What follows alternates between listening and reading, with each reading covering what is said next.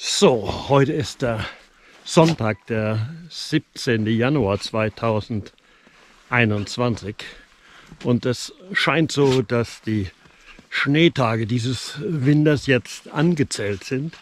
Nach aktuellen Wetterbildern, Wettervorhersagen haben wir jetzt noch genau diesen Sonntag, Montag mit Schnee. Ab Dienstag Nachmittag geht der Schnee in Regen über und dann kann ich vielleicht noch einige Tage auf Restschnee rumrutschen. Aber dann kommt eine fette Tauwetterperiode. Und dann ist erstmal dieser herrliche Winter vermutlich für längere Zeit und vermutlich für den gesamten Winter vorbei. Und deshalb nutzen wir aktuell noch jede Schneeflocke, die jetzt vom Himmel fällt, um noch Schneevergnügen zu haben auf unseren Trekking-Ski gemeinsam mit unseren Zukunden Fly und Lucy. Und jetzt geht es los und wir suchen jetzt äh, Loipen, äh, wo wir noch gut vorwärts kommen. Es hat etwa heute Nacht und aktuell 10 cm Neuschnee auf eine Haarschneedecke geschneit. Und das sind optimale Bedingungen, um auch querbeet laufen zu können oder eben auf neu gespurten Läuben, die von Vereinen der Region gezogen werden, wenn sich Leute finden, die den Motorschlitten ziehen können und ziehen wollen. So, jetzt schwingen wir uns wieder auf unsere Ski. Bei meinem Trekking-Ski, der bereits, oh, ich schätze mal 15 oder Jahre alt ist, ist gestern eine Stahlkante rausgerissen. Aber so wie es aussieht, kann ich die Dinger auch noch ohne diese Stahlkante weiter benutzen. Schauen wir mal, was Akuda passiert. In our language. Okay, let's start. Akuda. Akuda. Luzi, komm. Luzi, stopp.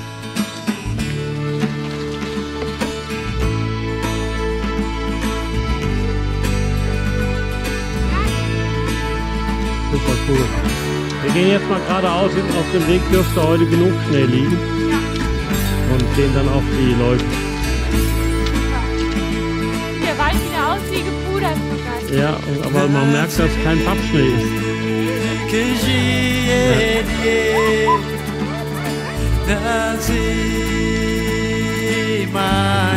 Ja. Good, I'm sorry.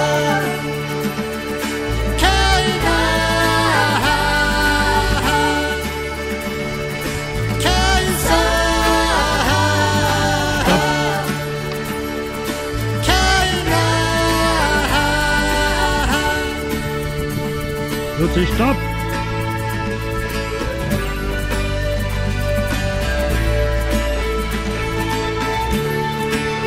Geradeaus. Nee, Quatsch. Stopp! Wir müssen hier rein. Stopp. 40 Stopp. Nancy,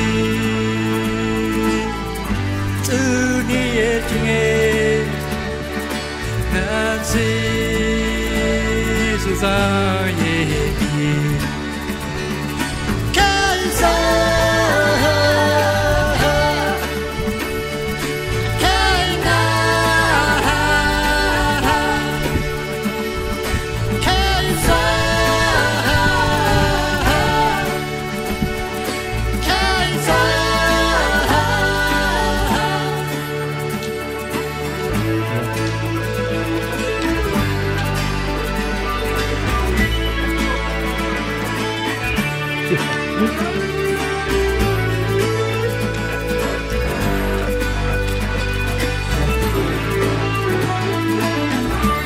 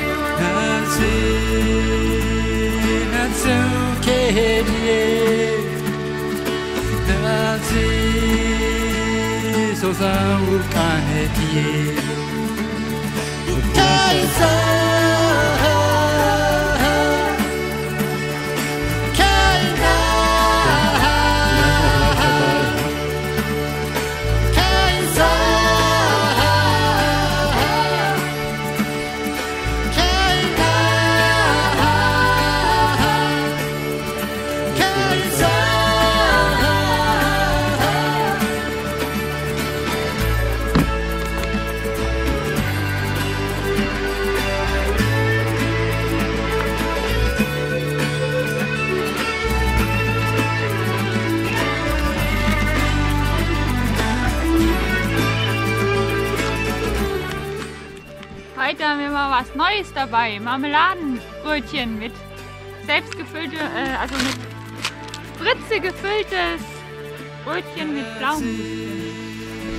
Ja, eigentlich ist das ein Germknödel, den aber umgearbeitet zu einem Pflaumenmarmeladenbrötchen.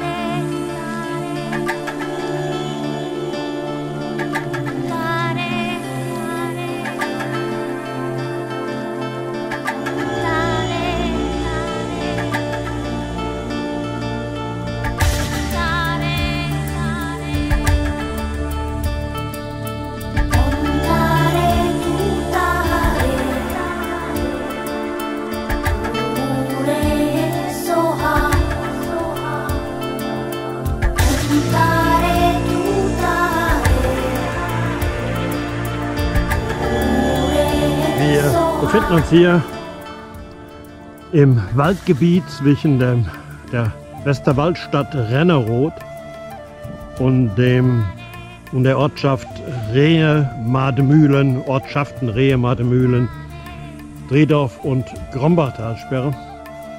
Und wir sind heute auf etwa einer Strecke von 25 Kilometern unterwegs. Ja, an diesem Sonntag hier wo in Deutschland immer noch ein harter Lockdown angewendet werden muss, befinden sich trotzdem etliche Menschen hier auf Langlaufskiern, auf schön gespurten Läuben im hohen Westerwald. Aber man kann sich beim Langlauf gut aus dem Weg gehen, Abstand halten, die Corona-Regeln einhalten, sodass wir uns hier bei diesen Aktivitäten sicher und wohl fühlen und auch niemanden gefährden, falls wir Coronaviren an uns haben sollten. ja, woher GoPro. die haben? Ja, woher? Ja, vielleicht äh, sind die mutierten Coronaviren äh, befinden sich nicht in den Aerosolen, sondern in den Lebensmitteln. Nein, in Schneeflocken zum Beispiel und können dann noch ein bisschen weiter fliegen, wie nur anderthalb Meter oder so. Jetzt fängt es wieder ein bisschen an zu schneien, leichter Dauerfrost, der gegen Abend und morgen auf 0 Grad runter geht, rauf geht meine ich. Und da wird es morgen noch möglich sein, bei Pappschnee unterwegs zu sein, aber das ist dann nur eine Frage, dass wir unsere Skier richtig wachsen. Land of Mountain.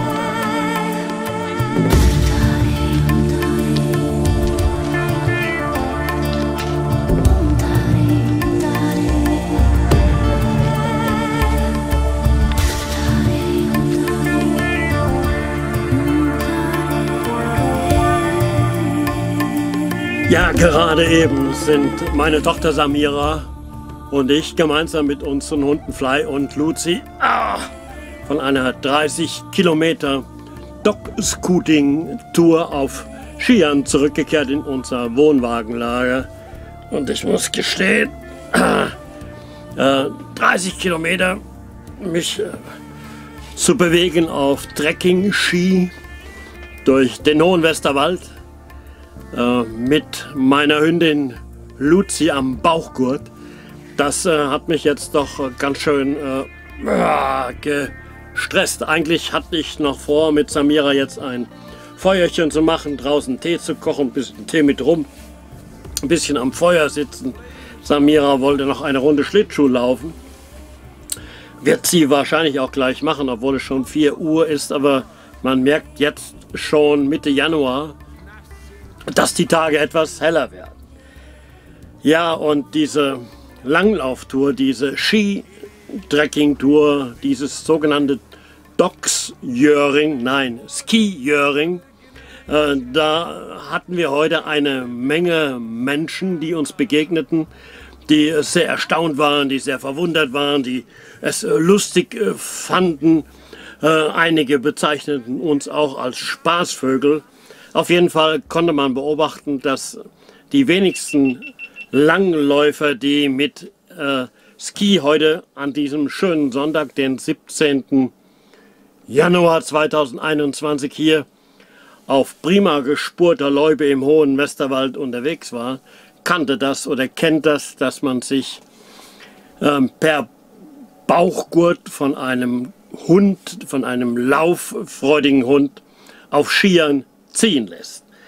Äh, ich selbst kannte es bis vor zehn Jahren auch noch nicht und äh, habe es zufällig entdeckt in Skandinavien. Die Schweden, die äh, machen oder dort ist das regelrecht ein Sport, das sogenannte Skijöring, in dem man sich von Hunden ziehen lässt oder sogar von Pferden auf zugefrorenen Seen und weiten Schneelandschaften und da geht auch immer die Post ab.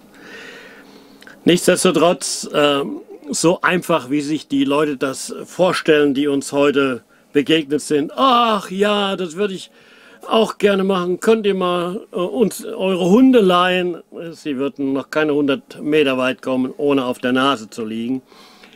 Denn solches Dog-Sjöring, solches Ski-Jöring oder dieses Ski-Scooting, das geht natürlich nur dann, wenn die Hunde das getrainiert sind, wenn die Hunde wissen, was sie machen sollen und unsere Hunde hören nicht auf Hinz und Kunst. Die hören auf uns, wir sind ihre Bezugspersonen, wir sind ihre Rudelführer. Und dementsprechend verhalten sie sich.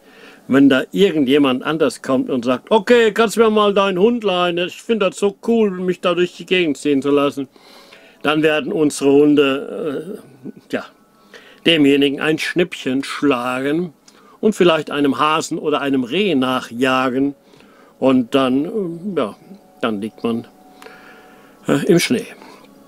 Und ich muss gestehen, ich bin in den letzten Tagen auch dreimal nicht äh, ganz unerheblich heftig gestürzt aus unterschiedlichen Gründen.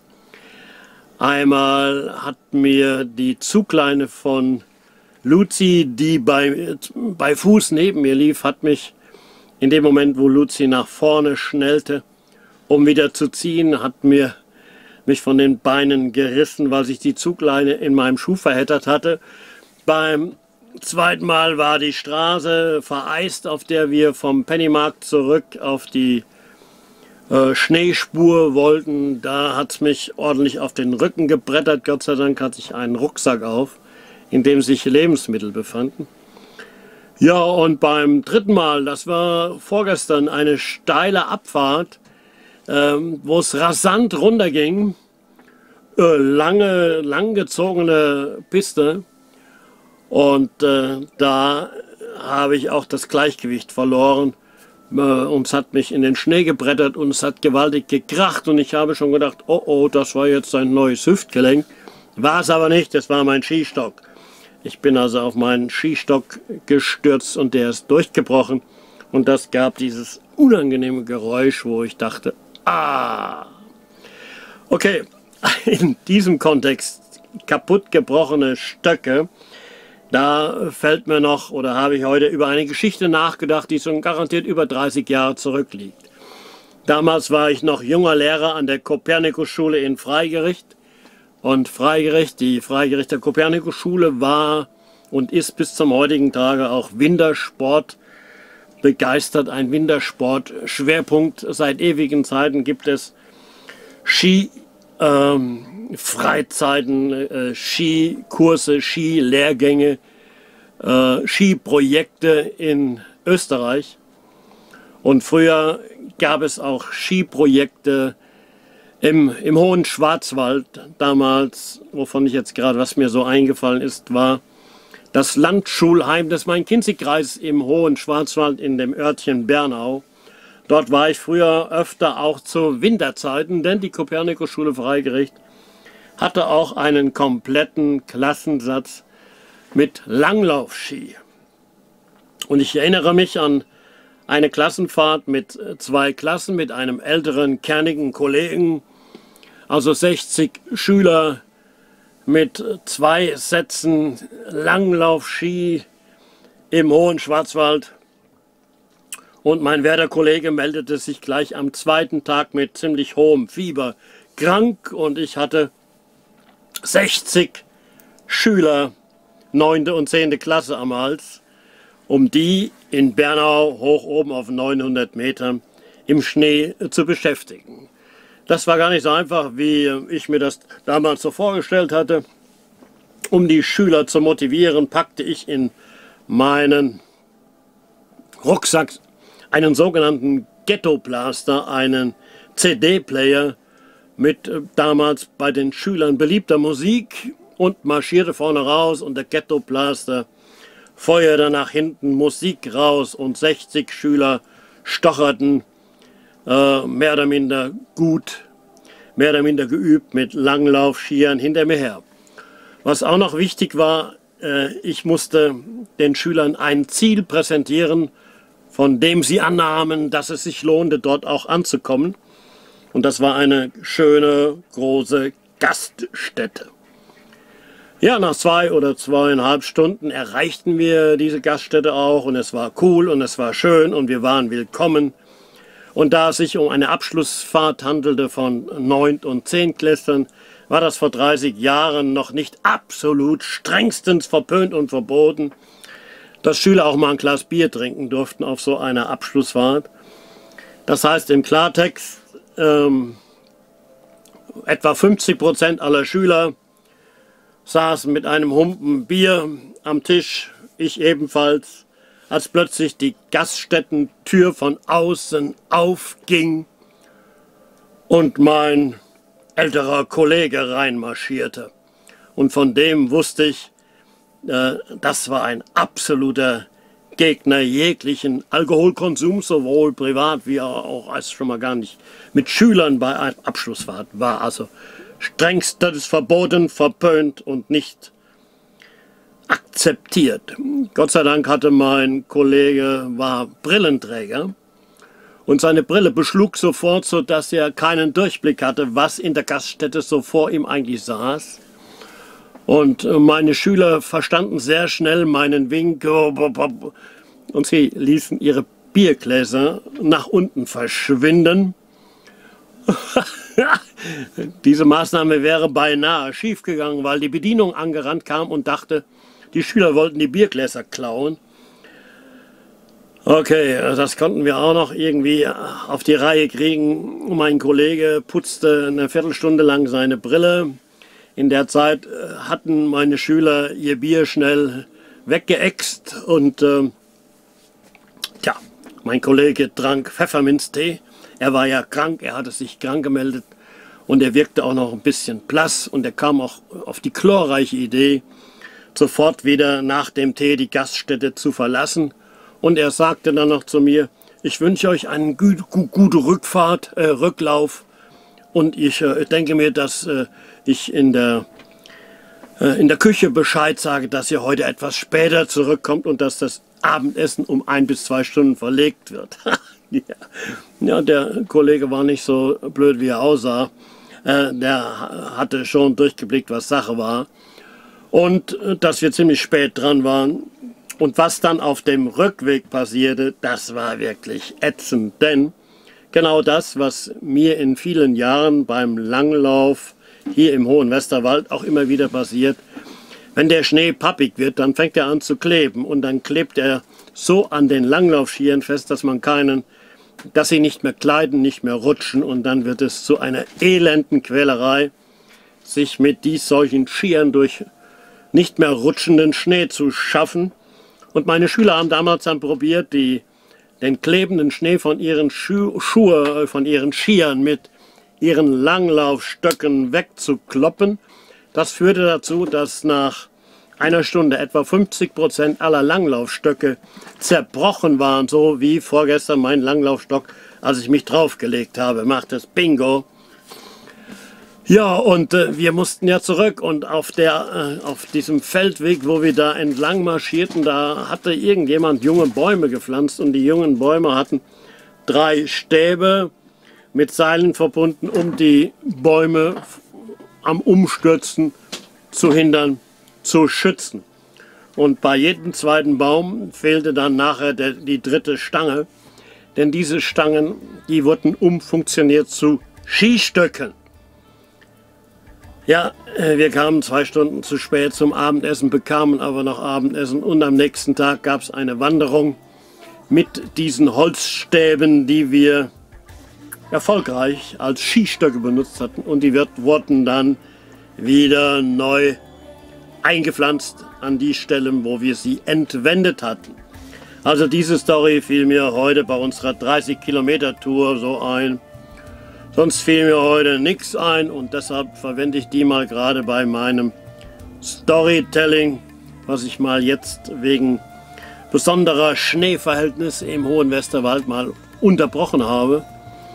Aber in den nächsten zwei, drei Tagen wird hier im Westerwald massives Tauwetter einsetzen. Es wird glitschig, es wird schlammig, es wird ätzend, es wird widerlich. Radfahren kann ich dann auch nicht. Und äh, mit dem Skifahren hat sich dann vorläufig für längere Zeit auch äh, wirklich erledigt. Ja, und dann fange ich wieder an, Geschichten von gestern, vorgestern und von ganz, ganz weit äh, zurück zu erzählen. Und das, was ich gerade erzählt habe, das liegt garantiert satte 35 Jahre zurück.